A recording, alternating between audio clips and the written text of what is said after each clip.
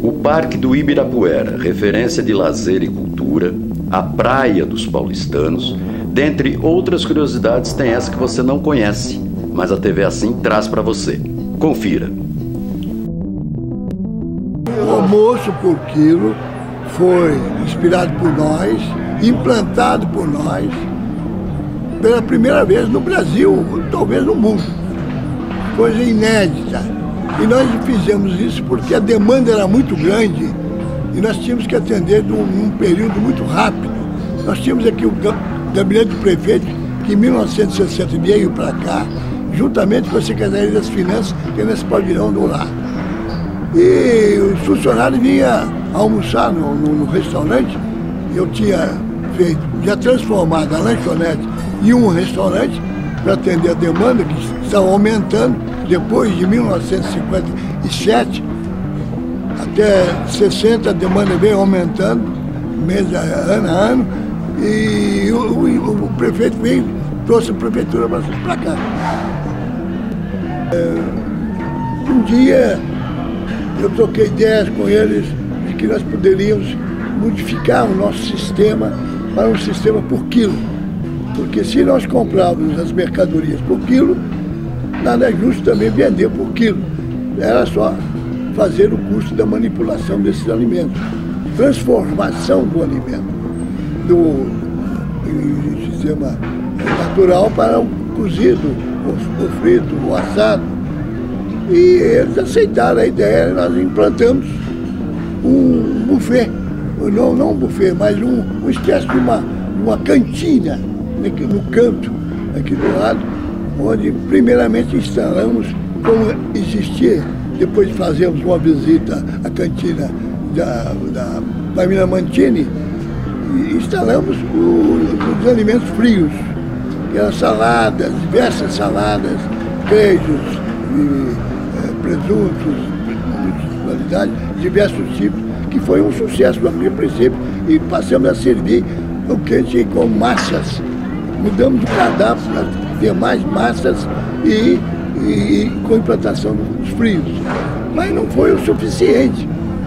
Depois de um determinado tempo, já, já, já tinha passado alguns meses de trabalho, a clientela achava que nós deveríamos complementar o trabalho, instalando também o, o, os pratos quentes.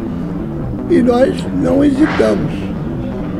Fomos atrás de, de, de, de uma estrutura adequada, mesmo improvisada, porque era um trabalho que nós não sabíamos como seria a reação do cliente, e plantamos lá nesse local mesmo, os frios do lado da, da, da, desse, dessa cantina, com o quente, uma mesa enorme, onde colocamos rinchô para aquecer a, a mercadoria que saía da cozinha, os pratos que saíam da cozinha, com 10 pratos diversos. É, carne, peixe, frango, é, é, saladas diversas, arroz, feijão, massas. E foi um sucesso, para nossa surpresa. A clientela adorou. E nós começamos a ter um momento até muito maior. Não? A clientela não perdia tempo. Chegaram o pessoal da prefeitura, da, tanto da secretaria como do, do, do, do gabinete, vinham a servir aqui com mais facilidade. E outra coisa também que foi para eles uma, uma, uma excelente ideia, porque sendo funcionário público, eles não são de comer muito, de ter muitos pratos. E eu achei excelente também para deixar desperdiçar tanta comida. Eu ficava preocupado com isso, porque realmente nós tínhamos um, um descarte de, de comidas, eh, restos de comida muito grande. Não? E o alacate diminuiu muito. Foi um sucesso, tanto foi um sucesso que muitos colegas vieram ao parque presenciar o nosso trabalho. E hoje é um sucesso no Brasil e no mundo inteiro. É, foi para nós uma alegria esse, esse sucesso. Tínhamos aqui a Prodan aqui no lar com 2 mil funcionários. tinha o gabinete com mais dois, mais mil, dois mil funcionários. E começou, só que as pessoas achavam estranho. A pessoa chegava, falava, pô, mas tem que comer lá. Pegava o pratinho, ficava assim meio sem jeito, meio deslocado, e ela pegava assim o prato meio assustado, pegava a comida, Exato. botava na balança. Aí foi indo, foi indo, e aí hoje é um sucesso. Tanto é que o nosso sistema hoje continua self-service. Nós temos uma outra casa em Perdizes, que também é self-service, tanto é que o nosso self-service lá é um sucesso tão grande que sábado e domingo faz filha para é, usar o nosso self-service, que é o Macedo, vou fazer a propaganda. é um sucesso tão grande onde a gente atinge uma classe média alta. É, é um sucesso. E se você me perguntar por quê, então é isso, a, a história ideia. do self-service. A ideia foi excelente porque beneficiou os dois lados.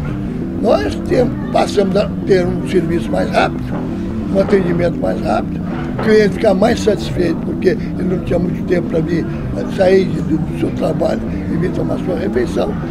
E também, para ele ficou mais barato, com custo mais, mais, mais razoável, porque nem todos têm a condição de se alimentar acima de meio quilo não, ficou democrático. Hoje a pessoa come de acordo, ou então com 200, 300 gramas como uma salada, ficou bem democrático.